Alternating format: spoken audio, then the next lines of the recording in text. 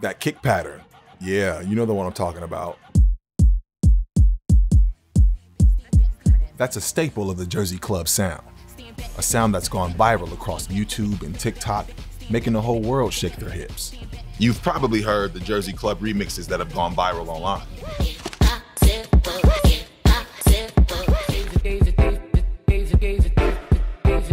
Or maybe you've heard Jersey Club's influence in top 40 hits like Level Up by Ciara.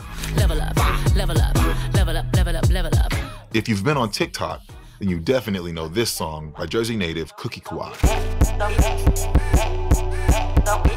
This sound originates from the black DJs of the Newark club scene. And even though online data shows that more women are listening to Jersey Club than men, the music production has been historically male dominated. Recently, however, there's been a rise in women producers making club music. But before we get into that story, let's rewind a bit and talk about where Jersey Club came from. Soundfield went to Newark, New Jersey to meet the dancers and producers who make this music and to find out what makes this sound so contagious.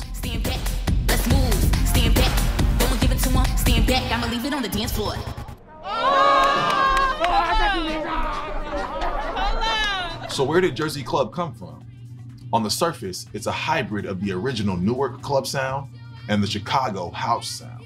The Jersey sound was birthed in the 80s at the legendary Zanzibar nightclub in Newark, New Jersey by musical icon Tony Humphries.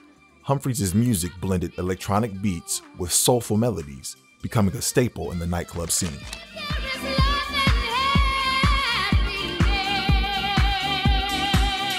But it wasn't until the early 2000s that it became the Jersey club sound you recognize today. It came a time where the Chicago records stopped coming. So I was like, yo, I need something fresh. DJ Tameil, a pioneer in the club scene, would travel to Music Liberated, a hotspot for local DJs in Baltimore. We constantly went and bought vinyl, so I would just read all the credits, all of the names, you know, the numbers. I called the number on it, the first guy I got in touch with was this guy named um, Bernie. Uh, rest in peace to Bernie, but he was like one of the biggest labels down there. Would take all of the B-more producers, artists, and this and that, and you know he'll put their records out for him. And he owned his own record store. So you know when I would call him, he would just introduce me to different people. It was there that he met Baltimore DJs like DJ Techniques and Rod Lee, who gave him the blessing to take the Baltimore style back to Newark.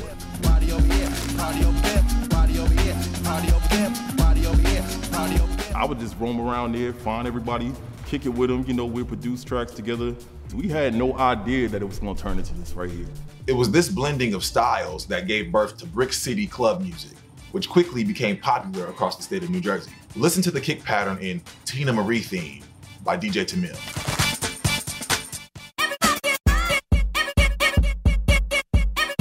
After Tameil, more and more Jersey DJs began making their own club hits and gaining millions of plays online. DJs like Sliink, Montana, and Lil Man.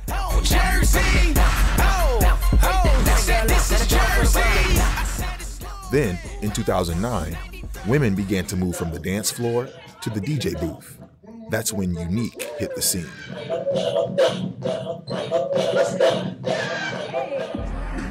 This is UNIIQU3, the queen of Jersey Club, a producer, artist, and DJ who's propelling this 135 BPM genre into a global phenomenon.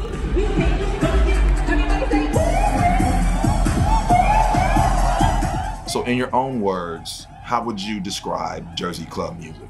Jersey Club music is your morning coffee, it's your afternoon Red Bull, it's your late night espresso shot, it's rambunctious in your face party music. And what was it like for women in the club scene when you got started? Right. Well, when I came up, it was super male dominated. We had a couple of women come and MC on tracks, like Miss Porsche. She was one of the first women I heard on a club track, and I was just like, yo, this is hot. We need more of this. We need girls DJing too. I'm a part of the second generation of club music. There wasn't really a blueprint for me to look up to. It was very just dude behind the DJ booth, and all the girls would be, you know, dancing, shaking it to the left and the right. Not a lot of female representation other than on the dance floor. can you let me know who are some people in the Jersey club world that you look up to right now? Who really inspires you? Kui and Kia. Top two? Yeah, and I really don't know no other dancers. Male dancers, that's all I know. And those are the only two females, so. And how come, you know, you think that there's not enough girls in the Jersey club culture representing? They don't get enough opportunities, in my opinion. Where They don't get to go out there and show their talent like they want to, in my opinion. not like the What's- boys do. Yeah, the boys be all out there thinking they all that. And you some girls, men don't know, some girls can go out there and just steal a spotlight, just saying.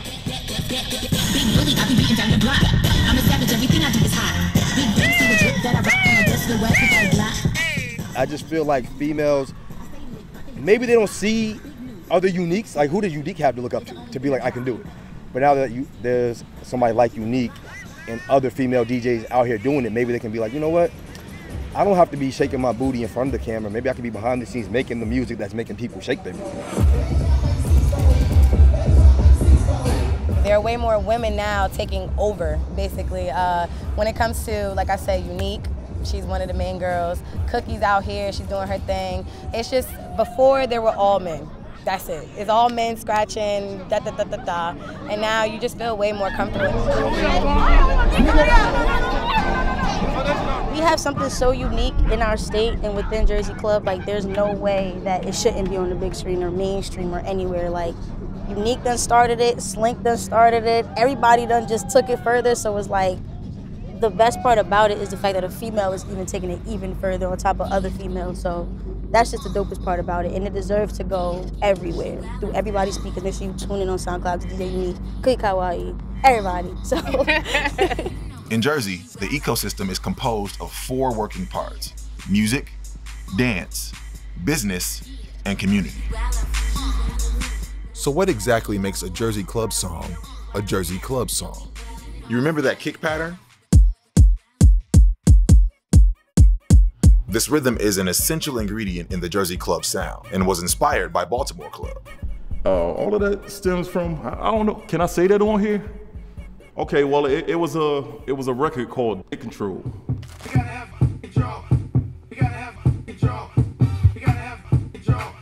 My partner Techniques, which you know I, I highly look up to. That's I got a lot of respect for him, like how people got respect for me. And he blew my mind when he told me he was in a DMC DJ battle in 1993 and was juggling records back and forth and did that beat on the turntables. They went back to the studio and recorded it and it became a club beat. But um, that one record we stuck to and we just took that kick pattern and just kept going with it, you know, so we just built from there. Another thing that Jersey Club is famous for is their use of sampling. You know, anything we can sample, we would use it. And that's what Jersey Club is. I mean, Jersey Club, B-more Club is sample based. The bed squeaks, which everybody think is a bed squeak. Lil Jon explained that, which was mind blowing for us because we always thought it was a bed squeak. It's not a bed squeak. Lil Jon explained that it's a rocking chair, but it sounds like a bed spring. But you know, we ran with it. We it's still a bed spring to us. As the music continues to evolve, its sound has become more aggressive. Today, club tracks switch up their 4 4 beat pattern every 8 to 16 bars. Then there's the vocals, usually chopped up samples of top 40 tracks, along with call and response vocals from independent artists or the DJs themselves. the way that we chop up our vocals is so clever because at the end of the day, it all has to lead to making somebody dance. I just usually try to find the best cadence. Hands, hands up, I'ma do my thing. Yeah, it came from a freestyle, so I think I was just like spitting in my mic, saying different stuff, war- getting warmed up, and I was like, man, this kind of sounds dope. So Back, let me get it on the dance floor. Stand back, I'ma leave it on the dance floor. Stand back, stand back, stand back, back, back. Another important part of Jersey club culture is remixing, and Jersey producers have even helped other artists go viral through their club remixes. we find these records and we make them crossover. So a, a drill trap record that you wouldn't hear at a certain demographic party, you could play it now because what we do is we transform it into something that's relatable to a wider audience. But it's not just remixes. Jersey club producers are also putting out original dance music that's played at clubs and festivals around the world. Even though Jersey Club is known for its remixes, we have a plethora of original Jersey Club content from, you know, even UNIIQU3, you know, uh, being one of the curators for the first ever Spotify Jersey Club playlist. There's a, a lot of original content on that playlist.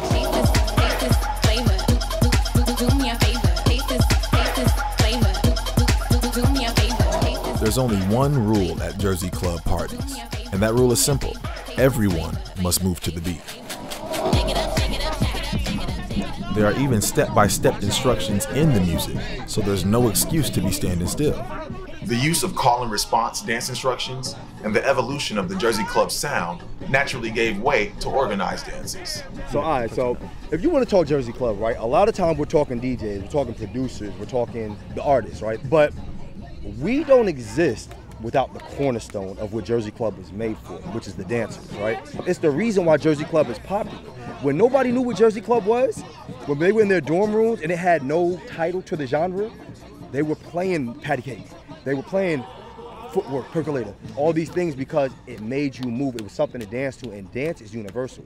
The reason why people respond that way is because traditionally in Africa, it's a called a call and response. So when the person bangs the drum, the person dances. The purpose of us dancing back then in those times was to call, call upon our ancestors. So the call is the, and the response is the dance.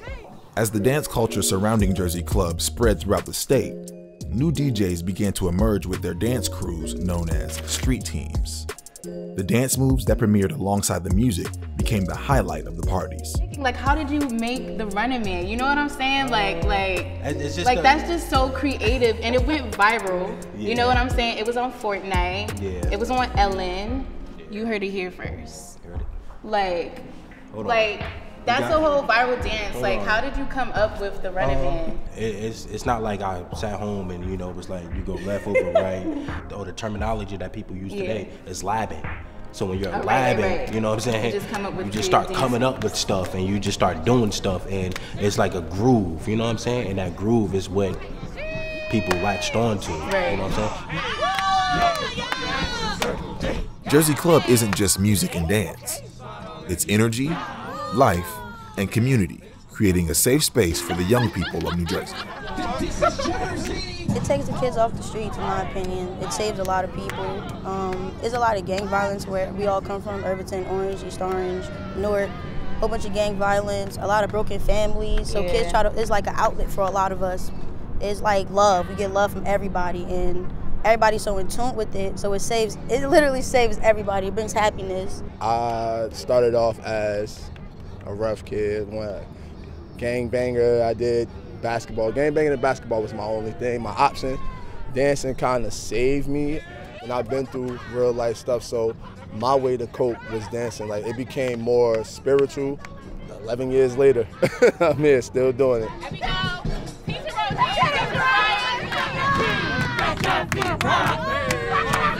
These days, it's easy to see how the women of Jersey Club are helping to push the genre into the future. But back in the early 2000s, there was a legendary DJ who laid the groundwork by lifting club music to new heights. Can you tell us how much K Swift means to you? Rest in peace, K Swift, Baltimore Club's queen, the club queen, period. K Swift meant so much to me, but there was definitely a big void when she passed away. K Swift was a legendary DJ from Baltimore. Her tragic death in 2008 left behind a hole in the local music scene. K Swift was like the face for B-more Club. Wherever she went, you know, people just followed her and they and they loved her for what she did. You know, she was phenomenal. She was a woman, a black woman that was carrying the torch to bringing Baltimore club music and East Coast club music in general to new heights. Her death took a toll on a lot of people, man. I feel like, you know, after she passed away, I mean, the, the city as a whole, you know, as far as playing club music, it kind of just fell apart. Everybody just kind of lost their steam, like, you know, like that sucked the life out of everybody, man. Me and my homegirl, TT the artist from Baltimore, she's Baltimore's club queen and I'm Jersey club queen. We we doing our best to try to represent K Swift in a bright light and, you know, finish the work that she started. Real talk. Just as K Swift's legacy inspired the musicians of today, today's artists are already inspiring the next generation. When I first saw Maji, like I was so in awe. I was like, look at this young girl killing it. I never saw that in my whole life. After that, I just, you know, made it my business. Like I have to work with this young girl. So it down, so it down, so it down, so it down, down, so it down, so it down, so it